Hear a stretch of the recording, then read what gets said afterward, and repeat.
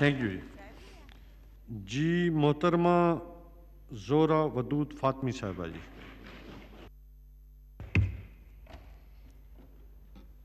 बसमान रहीम शुक्रिया चेयरमैन साहब कि आपने मुझे मौका दिया कि आज इस बजट पे भी हम भी कुछ अपनी बात कर सकें। सबसे पहले तो चूँकि कोरोना है और जो एक मुश्किल हालात हैं, हम सबसे पहले अपने डॉक्टर्स को नर्सेस को पैरामेडिक्स को और बाकी मेडिकल स्टाफ को और उन पुलिस और सिपाहियों को खराज तहसीन पेश करेंगे, जिन्होंने अपना तन, मन, धन और अपनी जान को इस लिए फिक्स का फिक्स का कर गया है कि वो हमारे मुहाफ़ बने रहें। अपने अवाम भाइयों के लिए, अपनी जान तक कुर्बान करने के लिए ये दरेक नहीं कर रहे हैं और हम उनके बहुत शुक्रगुजार हैं। और शुक्र करते हैं और दुआ करते हैं कि अल्लाह ताला उनको मज़ीद इसमें हिम्मत दे, ताकत दे और जो अल्लाह के पास चले गए हैं, उनको उनको ज़ाहिर रहमत में जगह मिले।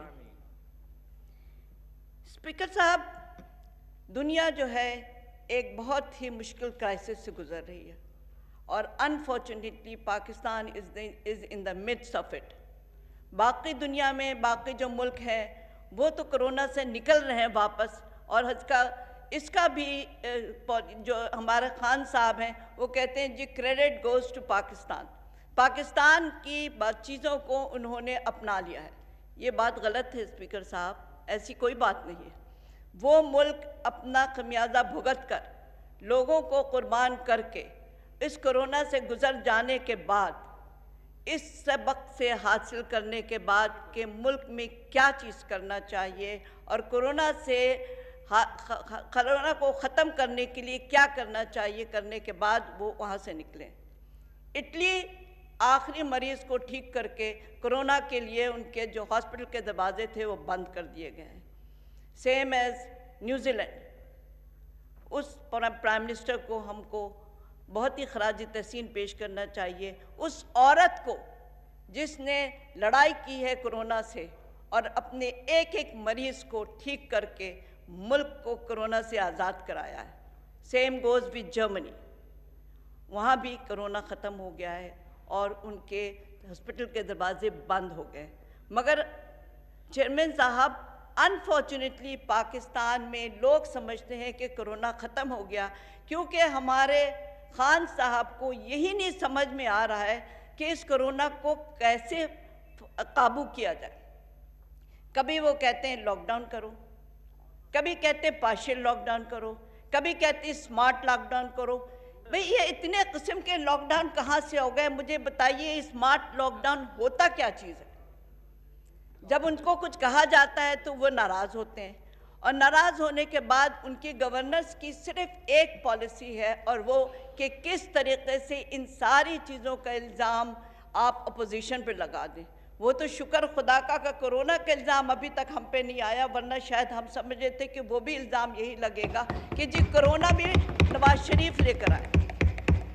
अगर देखा जाए तो आपकी पॉलिसी में क्या है? सिर्फ़ एक चीज़ है, और वो है किस तरीके से अपोजिशन को काबू में किया जाए। दुनिया जहान का उनके ऊपर इल्ज़ाम लगाइए, नैब को आप और ज़्यादा एक्टिव कर दीजिए और उनको किस तरीके से बंद कर दिया जाए? ज़बान बंद कर दें। चेयरमैन साहब, ज़बान तो आपने ख़त्म ही कर दी है लोगों की। फ्रीडम स्पीच तो ख़त्म हो गई है। शकील रहमान साहब को 100 से ज़्यादा दिन से अब तक जेल में मुझे बताएँ शकील रहमान साहब का क्या कसूर था? क्या उनका कसूर था कि 2010 में इमरान खान साहब के साथ बैठकर उन्होंने फंड रेज किया था? अरबों रुपए। मगर क्या कभी उस फंड रेजिंग का ऑडिट हुआ है? क्या खान साहब मुझे बताएँगे कि उस फंड रेज में उन्होंने क्या किया उन पैसों का? उनका कहना था कि मेरे पास तो इतने पैसे हैं कि जितने इफ़ेक्टिव हैं, उन सब को हम घर प्रोवाइड कर सकते हैं। उन सब का प्रॉब्लम हम सॉल्व कर सकते हैं। मगर चेयरमैन साहब, अफसोस कि वो इफ़ेक्टिव आज भी इफ़ेक्टिव है। वो आज भी बेघर के हैं। लेकिन खान साहब का पैसे का आज तक हिसाब हमें नहीं समझ में आया। हम खुद वहाँ पे मौजूद थे चेयरमैन साहब। उनके उस फंड रेजर में, उनकी उस पुकार के जो उनका इनका इंतराज गया था, उसमें हम मौजूद थे। मैंने उनका साथ दिया था। उनके साथ मैंने एक नहीं, दो नहीं, चार ट्रक सामान का भर कर मैंने वहाँ से भेजा था। लेकिन जिस वादे पे उन्होंने मुझसे ये बात करवाई थी, आज तक वो वादा पूरा नहीं हुआ। और आज हम इस इमाम को बता दें, उनका वादा था मुझे सिर्फ़ एक घर की छत चाहिए थी। एक लाख रुपया। वो आज तक नहीं मिला है मुझे। मगर अल्लाह का लाख लाख शुक्र है कि मुझे अब उस एक लाख की ज़रूरत नहीं है। मुझे अल्लाह ने बहुत कुछ दे दिया है और वो काम हम आज भी कर रहे हैं। यहाँ तो बात बड़ी बड़ी होती है। यहाँ पे बात अगर कोरोना की करें तो उनको तो किसी समझ में नहीं आता है। आपके मिर्ज़ा जफ़र साहब हर दिन टीवी पे आकर फरमाते हैं कि ये दवा खाइएगा इससे ठीक हो जाइएगा। ये वो दवाओं का नाम लेते हैं और वो दवाएँ दूसरे दिन से आपके मुल्क से गायब हो जाती हैं। नहीं पता कहाँ चली जाती हैं। आसमान खा जाता है, ज़मीन निकल जाती है उन दवाओं को। लेकिन वो दवाएँ गायब हो जाती लिल्ला मेरी उनसे गुजारिश है। खुदा के वास्ते ना लिया करें नाम।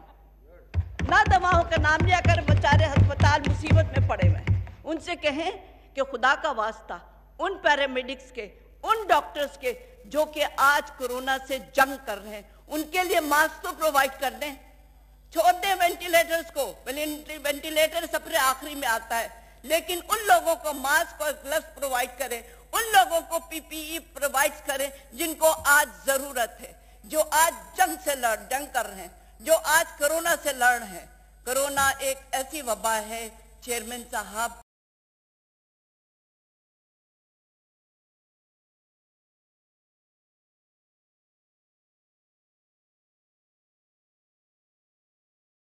unfortunately, we have to live with it.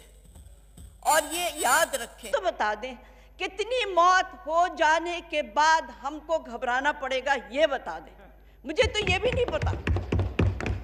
तीन हज़ार, साढ़े तीन हज़ार मौत ऑलरेडी हो चुकी है। एक, दो लाख के करीब लोग इफेक्टेड हो चुके हैं। और जो ये डेटा बताते हैं, जो ये बताते हैं कि दो महीने के अंदर कितने और हम अमवात होगी और कितनी और लोग कंफर्म्ड हो गए चेयरमैन साहब, मेरी और आपकी सांस रुक जाएगी सुनकर। एक बहुत ही हैबतनाक, खौफनाक नज़रिया है। अल्लाह ना करे कि ये हो, लेकिन मुझे उम्मीद है कि जो नंबर इन्होंने बताए, मुझे लगता है कि कहीं ऐसा ना हो, वो भी डबल हो जाए।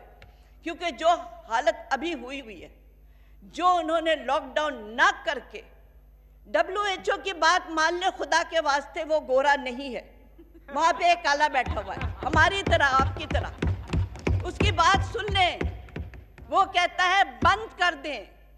ये बात आपको उस वक्त करनी चाहिए थी, चेयरमैन साहब, जब वुहान में पहली मरतबा कोरोना का एक मरीज़ सामने आया था। उस वक्त अगर आप अपने बॉर्डर को बंद कर देते तो आज ये नौबत हमारी नहीं आती। हमारा तो पता नहीं क्या हाल है। हमारी एजुकेशन का वही हाल है। आपने कह दिया कि स्कूल बंद है बिल्कुल बंद करना चाहिए।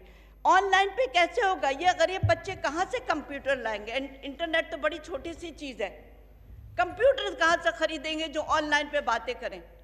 आप लोग बगैर सोचे समझे पॉलिसी रख देते हैं। आपने कभी सोचा कि आपने एजुकेशन की पॉलिसी का क्या हाल किया है? फातमी साहब वाइंड अप प्लीज़ जी।